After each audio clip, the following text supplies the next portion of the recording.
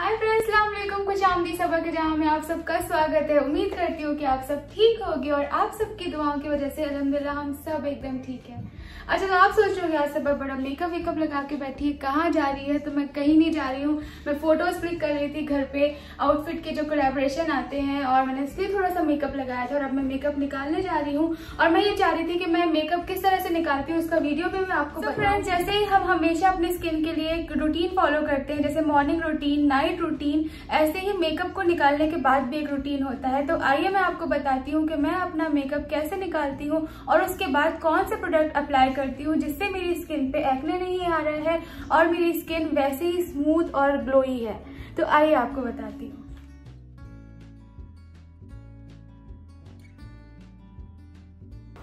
So let's start यहाँ पे मैं ऑयल से अपना मेकअप रिमूव कर रही हूँ। आपके स्किन को जो भी ऑयल सूट करता है, आप उससे मेकअप रिमूव कर लें, या वेट वाइप्स आते हैं मेकअप रिमूवल वाइप्स आते हैं, आप उससे अपना मेकअप रिमूव कर सकते हैं।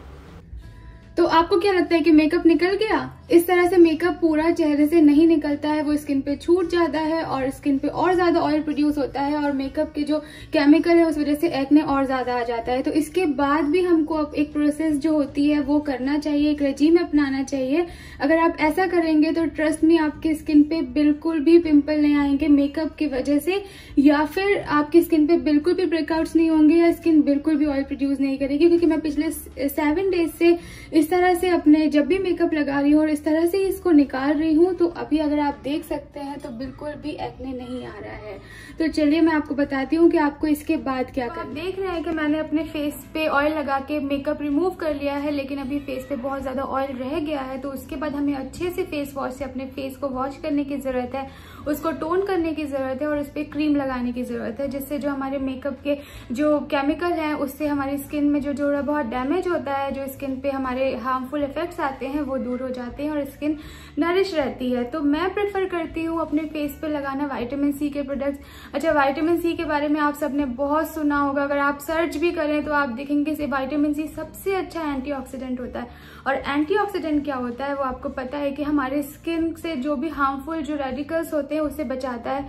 स्किन में ग्लो मेंटेन रखता है और जो हमारे दाग धब्बे आने लगते हैं, उनको दूर करता है और साथ साथ स्किन को हल्का सा ब्राइटनेस ला देता है। मैं ये नहीं कहूँगी कि वो आपको गोरा कर देता है, लेकिन एक वो ब्राइटन हो जाती है आपकी स्किन। तो मैं कौन से प्रोडक्ट लगा रही हूँ, वो मैं आपको बताती हूँ। मैं यूज़ कर रही हूँ वाव स्किन साइंस की ultimate vitamin C skin care kit और बहुत ही अच्छे रिज़ल्ट देखने को मिले। इसमें इनका फेस वॉश है टोनर है सिरम है और फेस क्रीम है। और ये प्रोडक्ट 100 परसेंट नेचुरल है। इसमें बिल्कुल केमिकल नहीं है, कोई कलर नहीं है और बिल्कुल भी साइड इफ़ेक्ट्स नहीं है।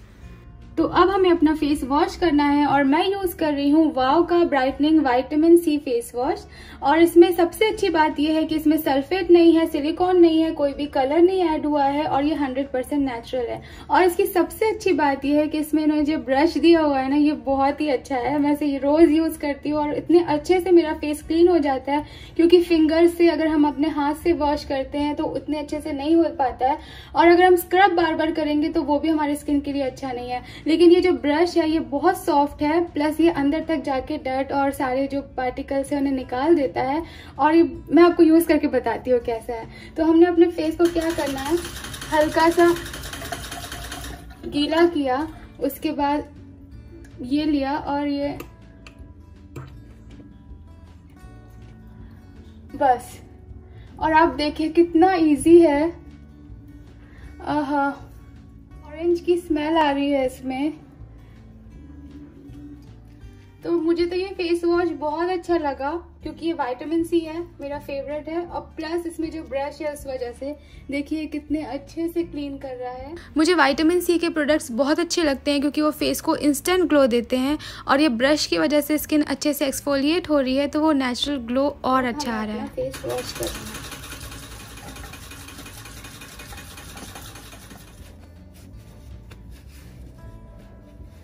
तो मेरा फेस वॉश हो गया है और अब हमें अपने फेस पे लगाना है। तो इसको टोन करना है। तो मैं उसके लिए यूज़ कर रही हूँ वाव का स्किन मिस्ट टोनर और ये बहुत ही अच्छा है। इसमें एसेंशियल ऑयल्स है एलोवेरा एक्सट्रैक्ट है।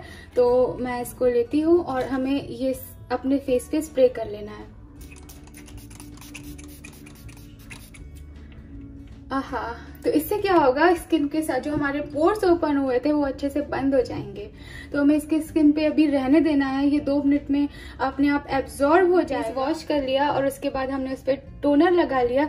अब हमें अपनी स्किन पे लगाने की ज़रूरत है एक अच्छी सी मॉइस्चराइजिंग क्रीम तो मैं यूज़ कर रही तो हूँ। तो टोनिंग के बाद हमारी स्किन को ज़रूरत होती है एक अच्छी सी क्रीम की जिससे हमारी स्किन का पीएच बैलेंस मेंटेन रहे और स्किन हाइड्रेट रहे। तो मैं यहाँ यूज़ कर रही हूँ वाओ की वाइटामिन सी फेस क्रीम इसमें हाइड्रोनिक एसिड भी है और ये हाइड्रेटिंग है ब्राइटनिंग है और एंटी एजिंग है। तो मैं ऐसे यूज़ कर रही हूँ और देखिए कितने अच्छे से पैकेजिंग में आती है। इससे ताकि आपका वेस्ट ना हो, आपको ये ऐसे लेना है और अपनी स्किन पे इस तरह से लेके अप्लाई कर लेना है।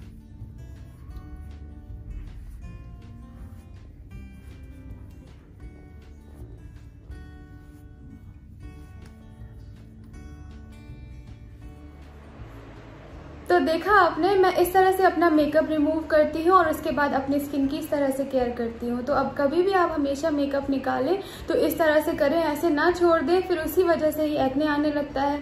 और अगर आप ये रिजीम रात में फॉलो कर रहे हैं मतलब आपने दिन भर मेकअप लगाए रखा है और आप रात में जब निकाल रहे हैं सोने से पहले तो आप क्रीम से पहले सिरम भी अप्लाई कर सकते हैं। तो मैं आपको बताती हूँ, ये वाओ का वाइटामिन सी सिरम है, ये बहुत अच्छा है, मैं इसे यूज़ कर रही हूँ। ये आपका कॉम्प्लेक्शन भी ब्राइट करेगा और एंटी एजिंग भी है। तो मैं इसे अपने क्रीम के साथ मिक्स कर लेती हूँ या कभी क्रीम से पहले भी लगा लेती हूँ। इसके भी बहुत अच्छे इफेक्ट्स हैं। अगर आप देख सकते हैं तो आप देखिए अभी मेरे फेस पे कोई भी एक्ने नहीं आ रहा है, कोई भी ब्रेकआउट नहीं हो रहा है। बहुत अच्छे रिज़ल्ट मिले हैं इससे, इसीलिए आपको रिकमेंड कर रही हूँ।